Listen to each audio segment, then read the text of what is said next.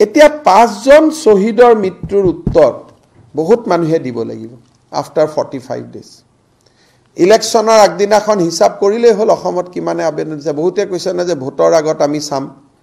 তো এইটোতো এটা খোলা কিতাপ হৈ গ'ল কোনেওতো আৱেগিক কৰিব নোৱাৰে। কালি সোতৰজন মানুহে গুজৰাটত চিটিজেনশ্বিপ পালেই। এতিয়া অসমত কিমানে এপ্লাই কৰে কিমান এপ্লিকেশ্যন ডিছপ'জ হ'ল এতিয়াতো মানুহৰ আগত আহিব। তেতিয়া উত্তৰ দিব লাগিবনে নাই?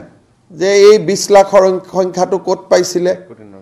বাংলাদেশত এক কোটি মানুহ কমি গ'ল। আৰে কনভাৰ্চনহে হ'ল মানুহখিনি। অসমততো অহা নাই। অসমত যোন আহিছে সেইখিনিতো এন আৰ চিয়ে কেপচাৰ কৰি ল'লে।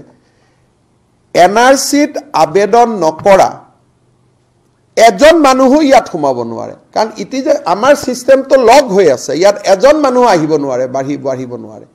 সেইকাৰণে যুক্তি ইয়াত কোনেও দিব নাহে। ডাঙৰ সমস্যাটো হৈছে কি কা আমি নামানো নুবুজো। আৰে নুবুজিলে কেনেকৈ কৰিবা? বুজিলেহে আন্দোলন কৰিব পাৰিবা। সেইকাৰণে অসমত গোটেইটো এটা ফিয়াস্কো হ'ব। There will be no' fresh application পিছত আমি কেম্প বহাব লাগিব? এন আৰ চিত বায়'মেট্ৰিক লগ হৈ থকা মানুহখিনি কাৰণ আহ এপ্লিকেশ্যন কৰ বুলি। আজিতো চাৰিদিন গ'লেই কেইটা অসমৰ পৰা আবেদন হ'ল? তেৰত এনাউন্সমেণ্ট হ'ল বাৰত না? আজিতো চাৰি পাঁচদিন হ'লেই। There was not a single application from Assam পৰ্টেলটো খোলা আছে। এতিয়া কিমান ডাঙৰ আঠশ পঁচপন্ন লাইনত গৈ আছে কা আন্দোলনটো? উত্তৰ দিব উল্টা পৰিব এইটো। কাৰণ মোৰ অসমৰ পলিটিক্সৰ ওপৰত এটা ভাল আণ্ডাৰষ্টেণ্ডিং আছে। মই জানো যে অসমত মানুহ নাহে কাৰণ ইয়াত ইক' ছিষ্টেমটো ইমান ষ্ট্ৰং মানুহে একচেপ্টে নকৰে। এইটো কৰিডৰ হিচাপেহে ইউজ কৰে সোমাই পেলাই ওলাই যায়। আৰু অসমৰো ইভেন বাংলাদেশী মুছলমানো অসমত নতুন সোমোৱাই নাই ওলাই গুচি যায় অসমৰ পৰা। কাৰণ আমি ইয়াতে ইয়াত ইমান বস্তুটো ডিবেটেবল হৈ গ'ল। ইয়াত কলিকতাত গ'লে ট্ৰিবুনেল নাই আই এম ডি টি নাই কলিকতাত গ'লে ডি ভোটাৰ নাই গতিকে মানুহ অসমত থাকিবনে বেংগলত গুচি যাব? বিহাৰত গ'লে ডি ভোটাৰ ট্ৰিবুনেল নাই অসমত প্ৰায় এশ টকা লেবাৰ কৰিলে গুজৰাটত গ'লে তিনিশ টকা। অসমৰ মানুহে যদি গুজৰাটত গৈ আছে কাম কৰিব কৰ্ণাটকত গৈ আছে তেতিয়াহ'লে বাংলাদেশৰ মানুহ গুজৰাট কৰ্ণাটকত নগৈ অসমত কিয় আহিব?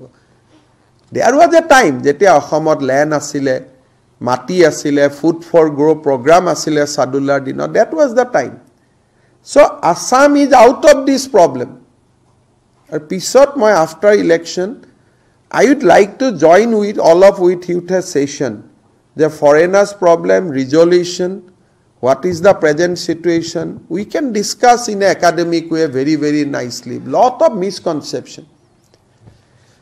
বাংলাদেশৰ চেঞ্চাছত এক কোটি মানুহ নোহোৱা হ'ল হিন্দুহে নোহোৱা হ'ল। মুছলমান তিনি কোটি বাঢ়ি যোৱা নাই জানো? তাৰমানে this people has been converted to Islam না? কিমান হাফ নিউজ দিয়ে যে হিন্দু কমি গ'ল সেই খবৰটো অসমত দিয়ে। কিন্তু মুছলমান বাঢ়ি গ'ল সেই খবৰটো নিদিয়ে। চ' ইমান সাংঘাতিক ধৰণে অসমৰ লেফটিজিমটো চলে যে আৰে গিভ ফুল ডেটা যে nineteen seventy one to two thousand three Bangladesh has lost one point five crore Hindu population but সেইটো চেঞ্চাছ ডাটাতে আনাডাৰ ডেটা এটা আছে যে how much Muslim population has ৰাইজ আৰু আমাৰতো কমপ্লেইন এইটোৱে যে মাইনৰিটিজ ৱেৰ কনভাৰ্টেড সেইটো কাৰণে চি এ হ'ল সেইকাৰণে এই যে আধা আধা ডাটা দিয়ে that is the biggest problem এতিয়াতো মই এই এপ্লিকেশ্যন প্ৰক্ৰিয়া হোৱাৰ পিছতেই উল্টাই মই হাইকোৰ্টত কেছ কৰাম যে কাৰ শ্বহীদ কেইজনক কিয় মৰুৱালে বুলি কাৰণ এক কোটিটো নোলাই বিছ লাখটো নোলাই গতিকে এটা জবাব এইবাৰ প্ৰথমবাৰ মোৰ খুব ভাল লাগিলে যে টেকন'লজি নহ'লে জবাবটো নাপালোহেঁতেন টেকন'লজি যে হৈ গ'ল পৰ্টেল বেজ হৈ গ'ল এইবাৰ নামানো নুবুজোৱে এইবাৰ প্ৰথমবাৰৰ কাৰণে উত্তৰ দিব লাগিব। বুজিব লাগিব। কাৰণ এইটো কোনো লুকাব নোৱাৰে। অসমত আবেদন বিছ হাজাৰ ত্ৰিছ হাজাৰ বেংগলত দহ হাজাৰ এইটোতো পাৰ্লিয়ামেণ্টৰ ডাটা যাব ইট কেনট বি হাইট সেইকাৰণে মই অসমৰ মানুহক বিনম্ৰতাৰে কওঁ জাষ্ট ডেটাটো উলিয়াবৰ কাৰণে অপেক্ষা কৰক। এনেই এইবিলাক কৈ থাকি কি লাভ আছে কওকচোন?